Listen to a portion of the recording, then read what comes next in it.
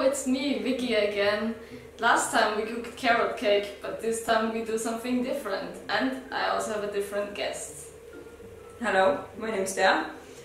And uh, this time, okay, it's my first time here, but uh, we are making quiche, which is actually like salty bakery Yeah. pie. ja yeah. põhimõtteliselt soolane pirukas siis ehk siis quiche. And since we have like this environmental month this month, this recipe is not vegan, but our today's topic is trash. We are using food that you may toss in the trash, and you will see what we are gonna use. Um, but first, let's start with the dough. jaa ähm,, aga põhimõtteliselt ongi, et äh, täna, kuna see on, meil on keskkonnakuu, siis äh, teeme siis toitu sellisest äh,, sellistest toorainetest, mida võib-olla sina viskaks prügikasti. et need on kas ühe päeva üle läinud, need on need allahinnatud või siis äh, näevad lihtsalt koledad välja. So maybe you can tell me what I have to do and then I m gonna obey. Yes. Okay. So we need um, a bowl. We will need the kitchen scale Mhm. and the oil. Bowl, Yes. scale, Mhm. oil. Okay, then we will need water, Mhm. baking powder, and some special ingredients. Kurupima is like curd cheese, and the special thing is uh, the date is like it was it was running out on the sixth of April, so like seven days ago, kinda. So yeah, maybe you would toss it in the trash, but we will use it for this recipe. Mhm. Should we check if it's still good? Yeah, it, it's, uh, I, we think it's good, but we will find out. So I'm gonna open it, right? Yes. And if it's not good, then it's not good. I hope it's good. Yeah, it's good. Like seriously, it doesn't smell it. It smells delicious. Yeah, so that's elementary. If you have dairy products at home, always open them and smell from them because like it's useless to put them into trash when they're still good. So. ja põhimõtteliselt ongi, et kui kuupäev on üle läinud, siis ei tähenda otseselt, et toit on halvaks läinud. vaid äh, noh, et ta tegelikult veel kõlbab, lihtsalt äh, ta ei ole enam müügikõlbulik. Ja seal on ju suur vahe ka, kas on siis parim enne või kõlblikuni, et parim enne kuupäev äh, ei tähenda alati, ei tähenda praktiliselt üldse seda, et kui kuupäev on läbi, siis toitu ei tohi süüa, vaid see on soovituslik siis aeg uh,. How much do I need? 150 grams. Let's make it like uh, take a quarter away. Yeah. So next thing will be water. Um, normally you can use milk for that, but I've thought like we don't have to use milk because people on the internet also did this with water. And we will need six tablespoons, and we will also need six tablespoons of oil. Okay, I m gonna take another spoon. põhimõtteliselt nüüd uh, meil on sada viiskümmend grammi kohupiima siin ja siis meil on vaja kuus uh, supilusipidet vett ja täpselt sama palju õli. see oli siis täiesti tavaline rapsiõli. nii, üks, Maybe you can pick up the flour, mm. -hmm. and meanwhile I will put the baking powder inside. The recipe says one package, but since you don't have those packages, I'll just pour as much as I want inside. ja tunde järgi siis pange ka küpsetuspulbrit Yeah. ja, ja siis tuleb jahu ka uh,. How much uh, flour we need? I will need 300 grams. Almost. Okay. Let's say it's Yes. exactly, okei okay,, üks gramm läks üle ka Okay, last thing is we need salt. Uh, põhimõtteliselt uh, tunde järgi või siis uh, tunde järgi soola. Victoria paneb soola, sest tema on professionaal. I don't know how to cook, so nüüd me teeme taika valmis ja mina siis samal ajal võtan a la koogivormi ja teen selle võiga kokku. So Vicky is going to do the dough, so it's like? Yeah, super stretchy. It should look like muretaigen, kui see valmis on, ilmselt samasugune, hästi paks. Okay, I think you will add maybe a bit of water and a bit of oil because this dough is a bit crumbly and it should be smooth. mm. -hmm, mm -hmm. ta lisab nüüd vett sellepärast, et see on natukene liiga mure, see taigen, et äh, ja ta äh, lihtsalt läheb katki, kui me peaksime teda rullima või venitama hakkama. jah, et äh, teil ongi võimalus kas teha siis äh, kogupiimaga või siis teetegi täiesti tavalise siukse muretaigne nagu, nagu sa teeksid siis, kui sa näiteks küpsisid teed. et, äh, et sellel nagu väga vahet ei ole So, okay, I think I'm done. Is it good? yeah. Yeah. Okay, next step I will gather the roll- rolling mhm. stuff, right? Yes. okei okay,, võtan siis selle taignarilli. ja, ja kuna me ei taha lauda nagu määrida, siis me rullime seda selle lõike laua peal siis meil on tunduvalt vähem koristamist ja pudistamist. kodus tegelikult soovitaks teil, et äh, mida ma ise teen, vahest harva, kui ma üldse midagi teen kodus nagu söögi poolest ja ma pean rullima, siis ma katan laua mm, toidukilega. Et kui mul on rullitud, siis ma tõmban toidu, toidukile lihtsalt kokku ja viskan minema ja siis ongi laud puhas. sihuke magic. I think you can also use the stove for pizza. So if you want to make your own pizza, you can also use that. Mm -hmm. You just have to roll it out and then put the stuff on it. So. jah, et äh, võid põhimõtteliselt sedasama asja nagu mm, pitsa põhjana ka kasutada, et oleneb, kuidas sulle meeldib uh,. Also we preheat uh,, we are going to preheat the oven Mm -hmm. uh, and we are going to put this uh, rolled up dough in an oven uh, with uh, 180 degrees, right? Yeah. And uh, not until the dough is like brown, but until it's like A bit harder. a bit harder, jah. et siis panemegi äh,, ahi tuleb siis eel, eelkuumutada ja siis tuleb saja kaheksakümne kraadiga siis panna seesama taigen koos siis selle küpsetusvormiga ahju ajalist limiiti ma ei ütleks teile, sest et ega ma ise ka väga hästi ei tea, aga põhimõtteliselt senikaua, kui see tainas on nagu veits kõvem, aga mitte pruun. pruuniks ärge teda veel laske, sellepärast et äh, siia tuleb ju kate ka veel peale. nii, thank you. I think we don't need it anymore, right? So now we finished our little dough and we will just punch some holes and with the fork inside so I think that the air can kind of go out.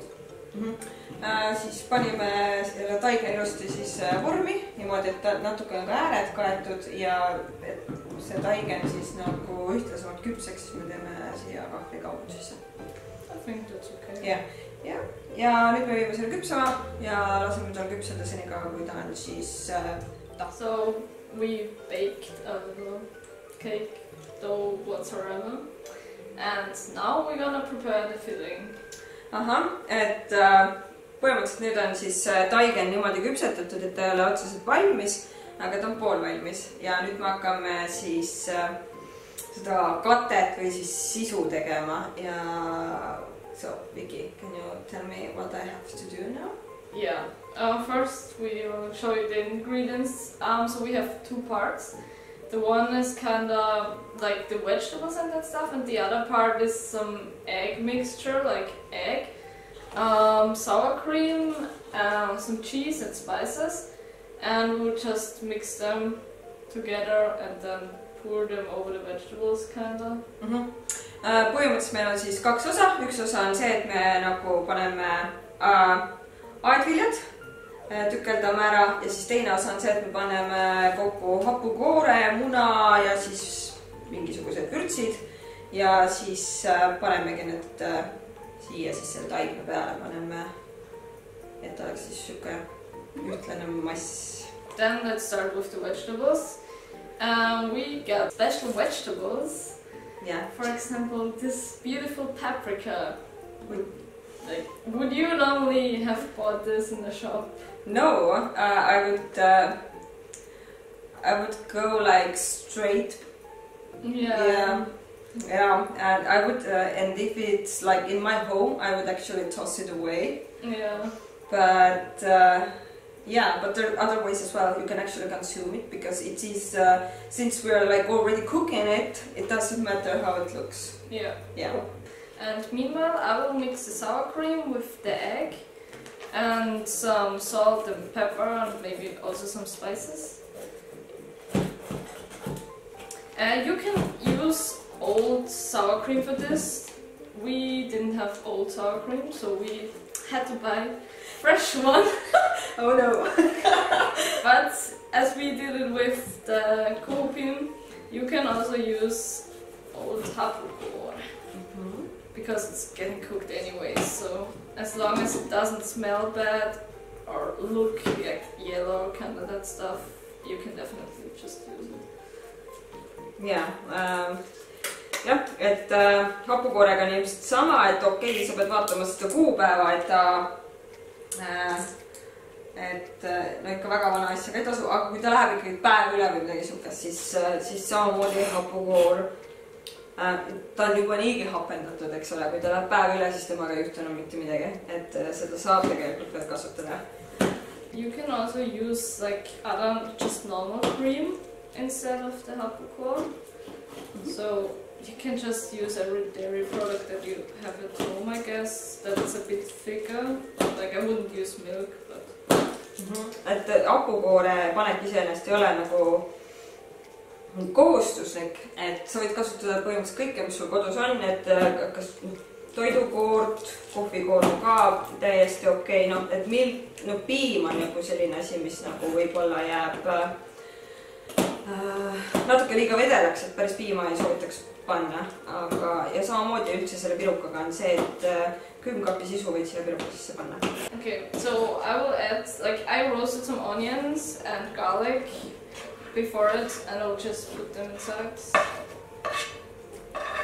jah, et äh, siia sisse lähevad äh, ka äh, natukene eelpruunistatud siis äh, sibulat ja küüslauk, mis siis annab sellele äh, pirukale siis äh, natukene siis siukest maitset ja vürtsi juurde. Okay, I think I will also add some spices right now because afterwards we can still put more. Mm-hmm. I will add, I think, some pepper and I found some pizza spice, and since we're using tomatoes and paprika, it might fit kind of. Yeah, it's almost like pizza, but Yeah. it's quiche. et äh, põhimõtteliselt ongi see, et äh, äh maitseainetega võid olla väga loov, et äh, siia me paneme praegu siis pipart ja pitsa maitseainet ja ma isiklikult paneks ilmselt hästi palju tšillit. aga see ongi maitse asi, et äh, pane täpselt seda, mida, mida sa ise nagu, millist maitset sa siis eelistad või mis on sinu lemmikmaitseaine. nii, I think that one here is uh, paprika is ready mm. -hmm. I m gonna add it in oh, super, super beautiful and yellow. Yes. So, um, so now I'm gonna cut uh, tomatoes. Et noh, et uh, supermarketis samamoodi kui poes käid, see peab kõige ilusam, kui sa tead, et sa need kohe tegelikult ära tarbid. et uh, lõpuks, kui sa ju nad ära tükeldad, siis vahet ei ole, millised nad enne seda välja nägid. Okay, um, meanwhile, I will start with the potatoes. We already pre-cooked them. Um, but here are some raw potatoes, and you can see they have already like those green roots. Um, the thing is, you should be careful with those green roots, but until they're like, if they're not one centimeter or longer, you can still use the potatoes, so don't throw them away when they have like those small ones.